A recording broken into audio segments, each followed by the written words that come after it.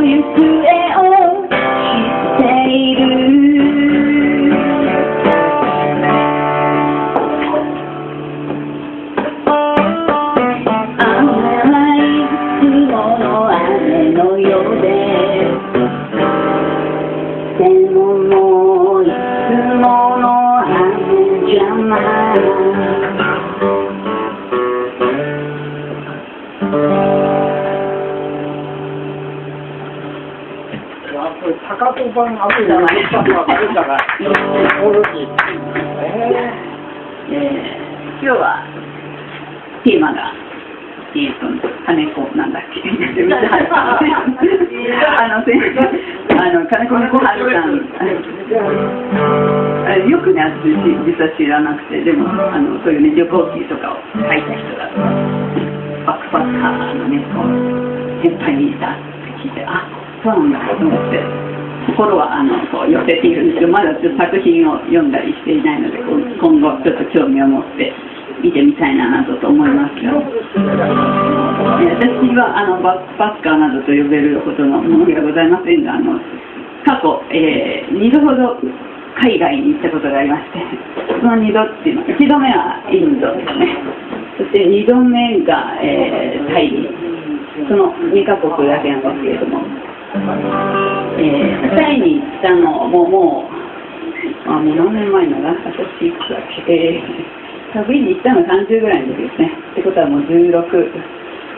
年ぐらい前ですね。よく考えたらねその時作った歌をで今日は歌ってみてとか思って、えー歌ってみようと思ったのにちょっとね練習してみてないんで。すよその頃インド行ったの？えっと30の時にタイに来ましたその5年前にインドに行ったんです25の時に初めて海外旅行。それがあのなぜかインド。最初最初と最後あまだ最後は分かんないですね。これから行くかもしれませんが。2回しかとにかく海外には行ってないんでございます。最後はほら、あの世はそうですね。それは最後に残残しておきたいというかみんなみんな残してますね。最後。にえー、じゃそのえー、拓郎の歌であのアジアの片隅でっていう曲があるんですよね、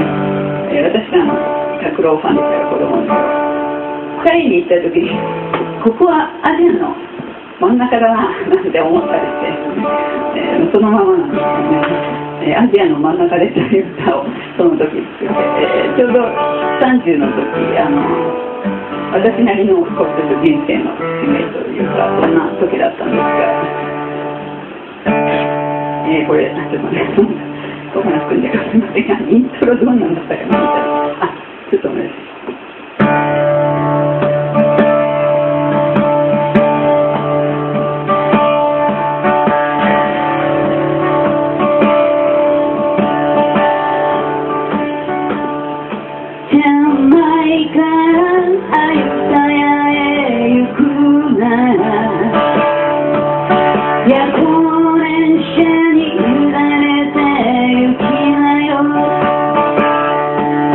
Boca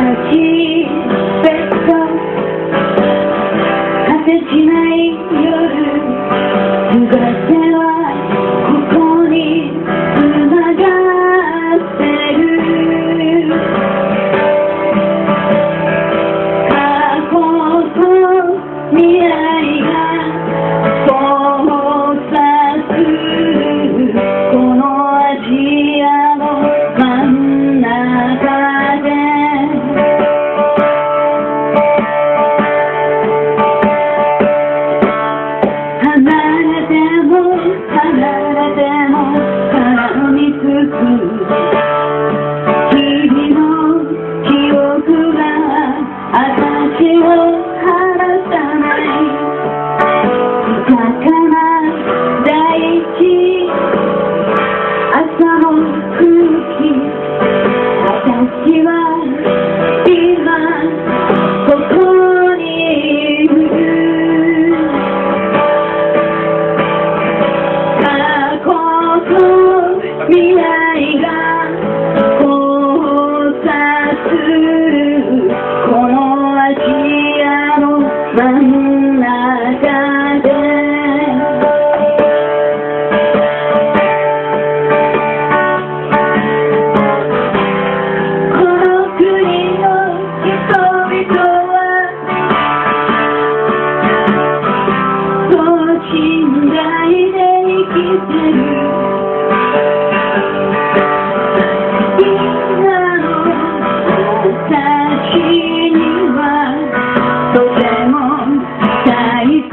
待って。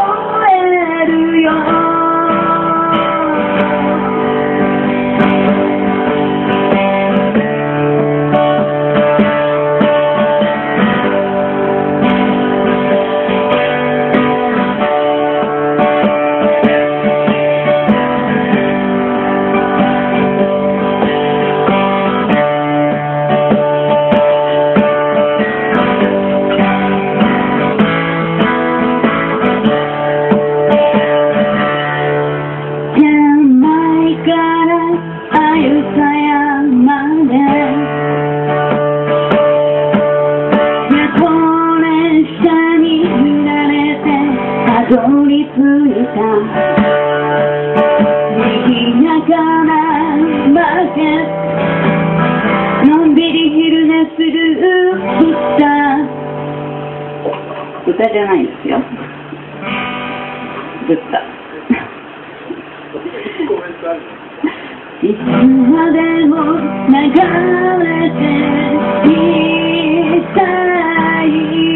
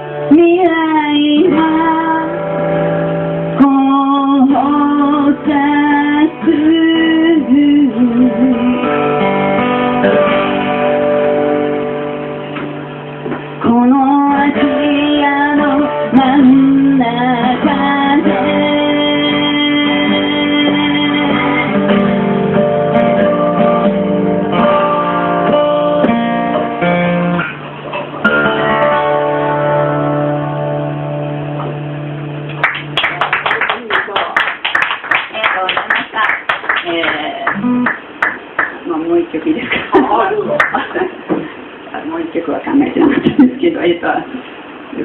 えー、じゃあ、えっと、似た、似た曲かな。旅、旅が続いていますが、最後、じゃあ、旅の終わりっていう曲をやってみます。あの、さっきの詩の、えっ、と、帰、帰らぬことが、入らないことが大変か。帰らないことが大変さ。うんえー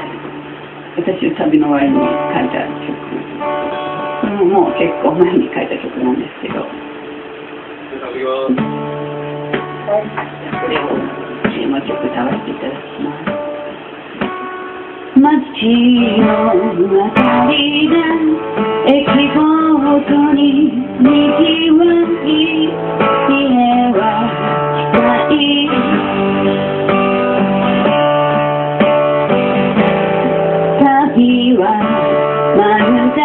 戻るために。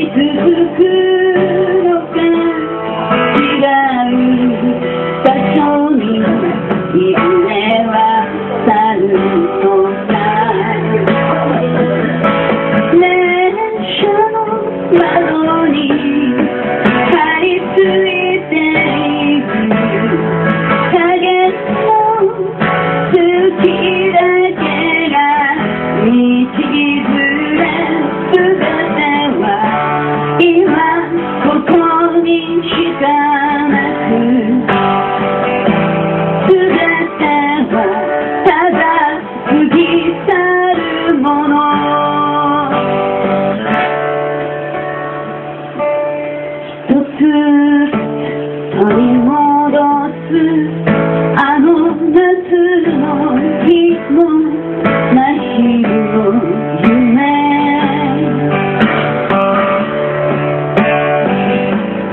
永遠から切り取った愛しい一瞬それが私の人生。の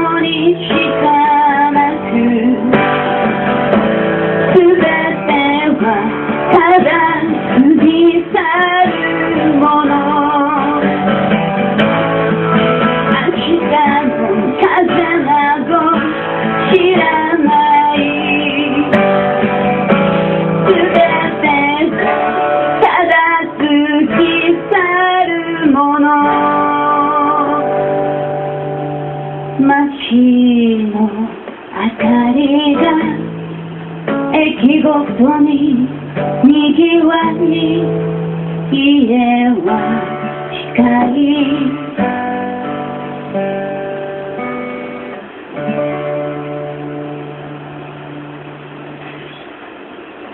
どうもありがとうございました